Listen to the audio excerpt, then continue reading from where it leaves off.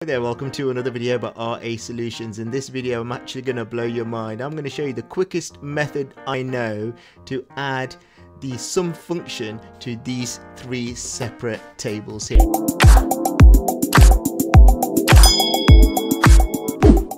Here, so I've got table one here, table two, table three.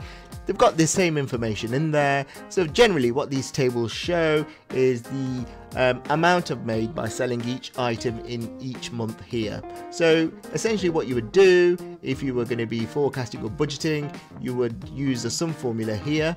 So the first thing we know when we do a formula is equals, then we'll use a sum function to add those numbers up, bracket open, and you would manually highlight all the rows and then do bracket closed and then enter and that will add all these values up here. But you would use that formula in all these cells manually. So you'll do it all the way across here and all the way down here in these columns and you would do the same process in table 2 and the same process in table 3 there is actually a much quicker way of adding the sum function to the formula in Excel to add all these values in all these tables together.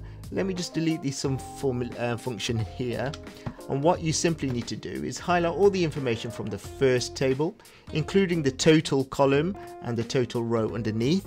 Um, let go of the left mouse button but also what you need to do on your keyboard uh, press the control button and then highlight the information in the second row including the total row and the total column and then let go of the mouse button go to the third table and highlight all the information in the third table including the total row and the total column. Let go of the mouse button and then let go of the control button on your keyboard.